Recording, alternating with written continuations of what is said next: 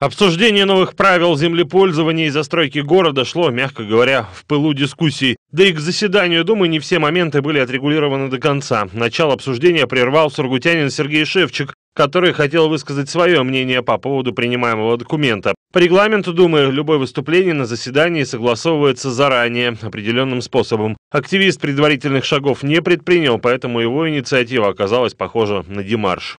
Я хочу объяснить для депутатов, что сейчас принимает решение ошибку, потому что это будет не соответствовать э, этим же нормам, которые вы принимаете.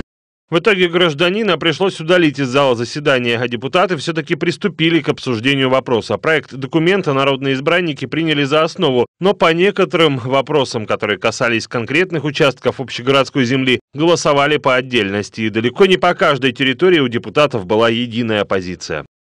Мы пришли к сегодняшнему заседанию готовыми принять их практически на 99,9 периоде. Те поправки, которые были отголосованы, и тот результат голосования 18 на 11, 11 на 18, говорит о том, что над этим документом нам и в дальнейшем придется совместно работать.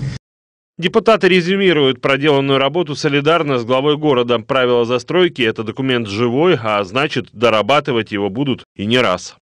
Работа была, конечно же, сложной, потому что ну, надо отдавать себе отчет, что за землей стоят и деньги, и предприятия, и люди, и работы, и э, было непросто. Но мы с сентября начали эту работу, и все предложения, они обсуждались, абсолютно все от граждан, от жителей, администрация соглашалась, если не соглашалась, аргументировала.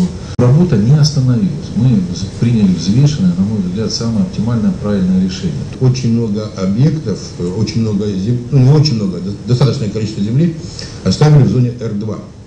Для объяснения, что такое зона Р2. То есть это зона, как бы сказать, лесов, так назовем.